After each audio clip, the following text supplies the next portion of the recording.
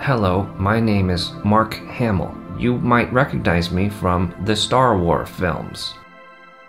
I'm just kidding. It's actually me, Garrett, and I want to show you how I've been using Adobe's Character Animator. Now, when I first saw this software, I thought it was complete trash. This comes across like some gimmicky little software package that's mostly just a tech demo and wouldn't really be used for any serious animation. However, the latest version has a lot of interesting tools, and I've been having a lot of fun with it.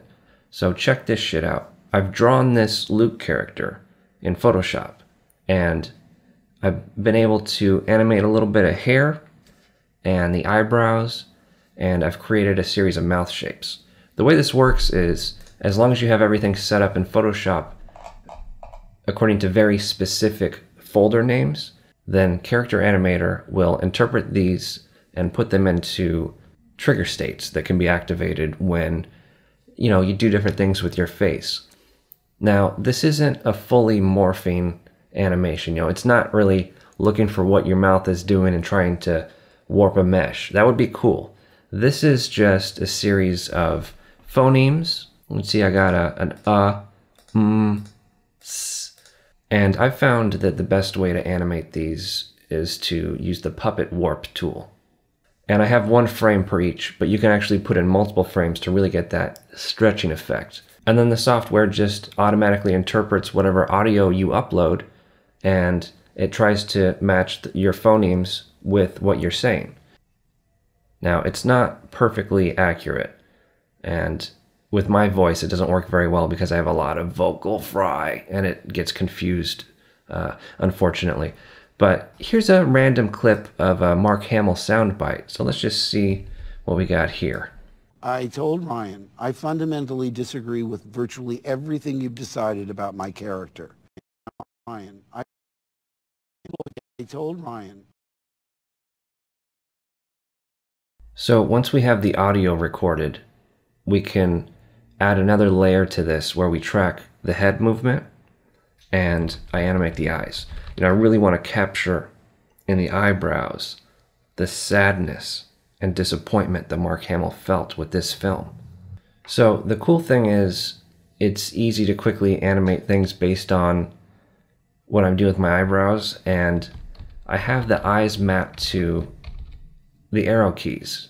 It doesn't really work tracking my eyes. It doesn't it doesn't look realistic. And I wish there were more tools that were manual because the automated tools don't work the way I want them to. So I'd almost rather just do everything the old fashioned way. Let's just try this out. I told Rian, I fundamentally disagree with virtually everything you've decided about my character.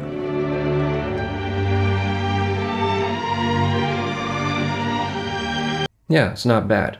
And I'm thinking I could use this software to quickly make some crude animation. Think of maybe the old South Park episodes or some of the old Adult Swim cartoons. I really like that stuff. And I think this could be a good tool because I've been looking for a way to combine my comics and videos. And I'm going to see what I can do with this. Thanks for watching. And uh, if you already own this uh, Creative Cloud software package, you might want to check out Character Animator. Otherwise, it it's not really worth it in my opinion.